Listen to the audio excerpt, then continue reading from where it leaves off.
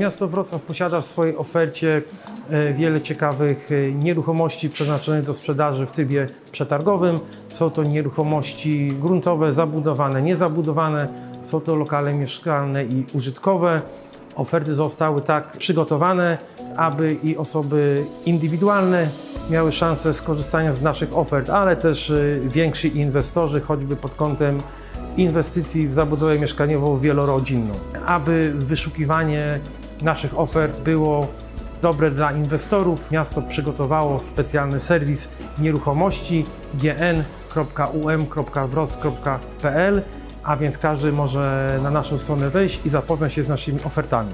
Przeglądamy oferty w bardzo prosty sposób. Z jednej strony możemy to zrobić za pomocą mapy interaktywnej z zaznaczonymi terenami czy budynkami na sprzedaż, a z drugiej strony możemy oczywiście w liście wyszukiwać konkretne tereny za pośrednictwem y, konkretnych kategorii, czy to y, po dzielnicach, czy po cenach wywoławczych lub po przeznaczeniu danych terenów lub budynków. Aktualnie na giełdzie nieruchomości mamy 40 terenów wystawionych na sprzedaż i kolejne, które są w przygotowaniu i już niebawem również na nie zostaną ogłoszone przetargi. Jeśli chodzi o aktualne oferty, to z pewnością e, takim największym terenem jest e, ten znajdujący się przy Alei Śląskiej w sąsiedztwie Tarczyńskiej Arena Wrocław. E, to teren, który ma cenę wywoławczą 66,5 miliona złotych, liczy ponad 5,5 hektara. Nieruchomość zlokalizowana jest zaraz bezpośrednio przy stadionie miejskim. E, będzie to przetarg e, pisemny, nieograniczony.